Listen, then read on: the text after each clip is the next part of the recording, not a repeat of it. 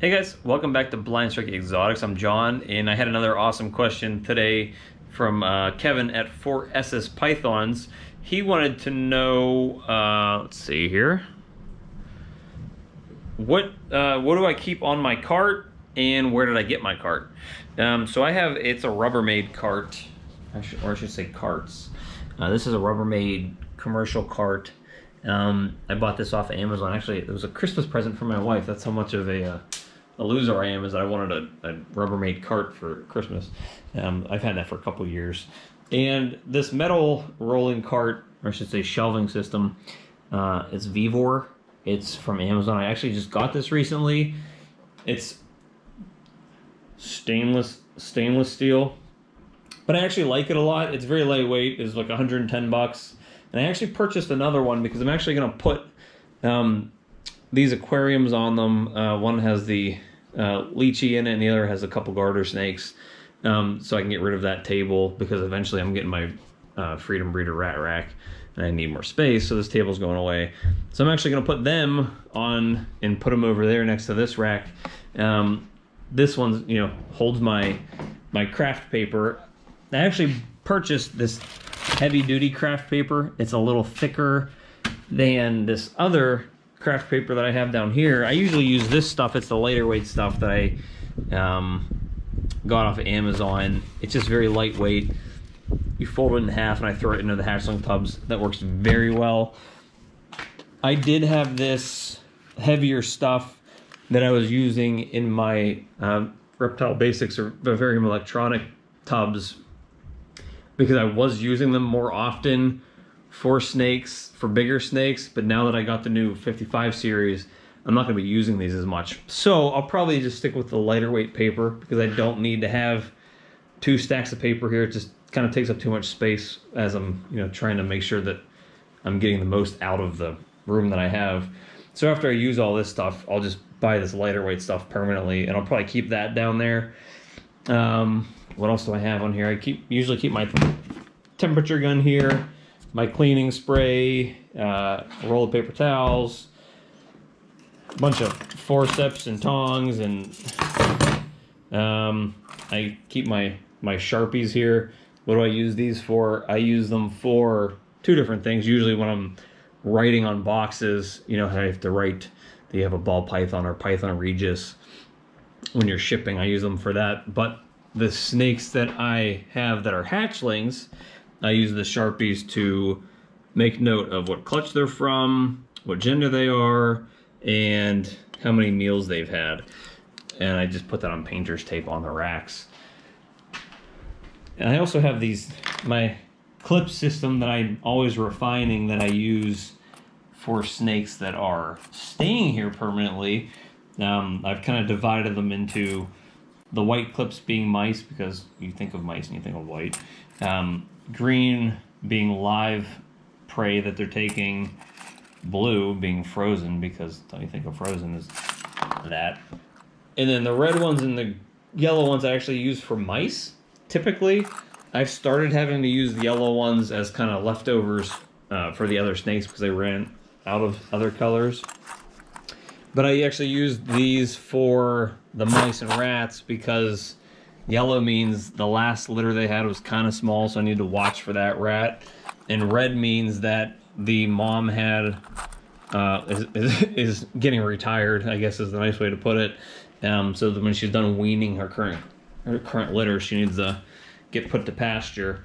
Um, and I also have my I showed this in my cool gadget video a couple back that I have my hand sanitizer dispenser so that I can keep my hands sanitized at all times and you know roll of tape there as well.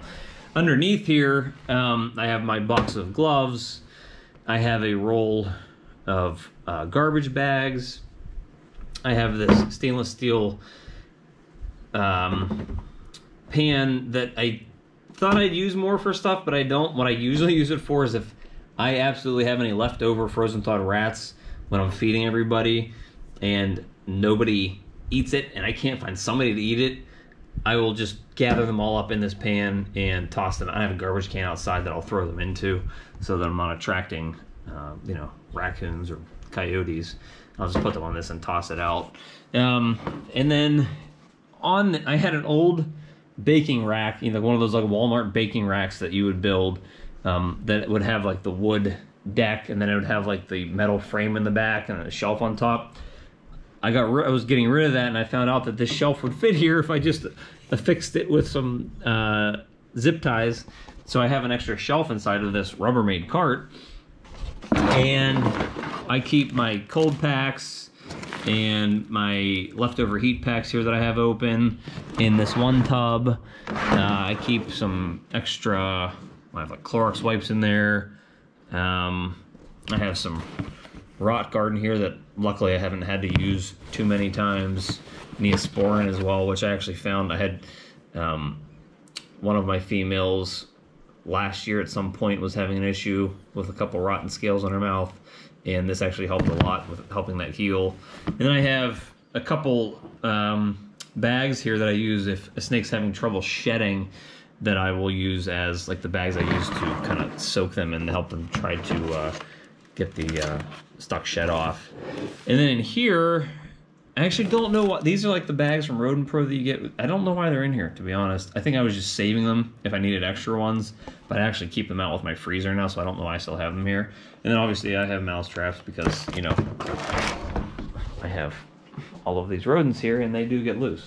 Um, then I have a couple extra spray bottles here that, uh, you know, for cleaning, just extra backups. So nothing too crazy. Um, I think the standard is for people to use these Rubbermaid carts. And it definitely has its utility. The one thing I dislike about these a lot are that only which let's see which ones. Only these front wheels swivel. The back ones do not swivel. They are static.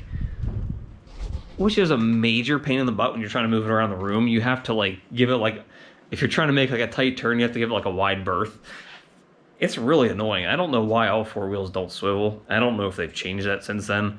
Um, but like, like if I want to move this one around the room, I just move it around the room however I want it to go, and it just goes everywhere because all four wheels swivel. But I can't like this one takes a lot more maneuvering. I have to be very smart with how I'm moving it, especially if you don't have a lot of room. Um, while this room may be bigger than some of your snake rooms, um, it's maybe a 20 by 20 room. It's not humongous though. So when I'm trying to do stuff in here, um, you know, and I have these racks lining all these outside walls, and I need to bring my big garbage can in the middle of the room and I'm taking this step ladder and I have it set up here, so I'm doing something up there. You know, this room quickly loses kind of a lot of, a lot of floor space when I'm working in this area where all the racks are. So to have you know a cart that moves independently um, and all four wheels swivel like that, it makes life a lot easier.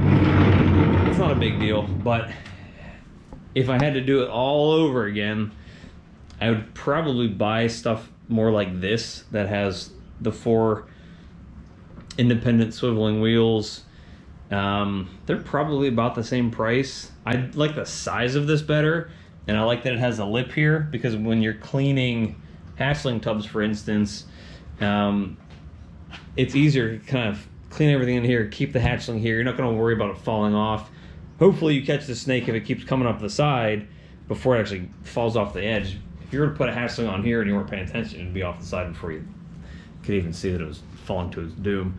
So that's my cart. I don't keep anything too crazy on here. It's just very basic stuff, but the essentials, cleaner, paper towels, gloves, my paper for the hatchlings, my feeding utensils, um, sanitizer, clips to let me know who's eaten recently and who isn't. Um, but an awesome question. It's probably one of those things I've never covered or may have not thought about covering it. So awesome question, uh, Kevin. And guys, keep sending in awesome questions. I posted a video three days ago, and I've already had two awesome ideas from you guys. So keep them coming.